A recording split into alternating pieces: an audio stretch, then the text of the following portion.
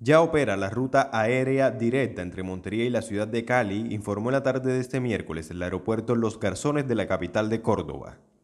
El aeropuerto señaló en su cuenta de Twitter que esta ruta es una realidad gracias a la aerolínea Latam Colombia.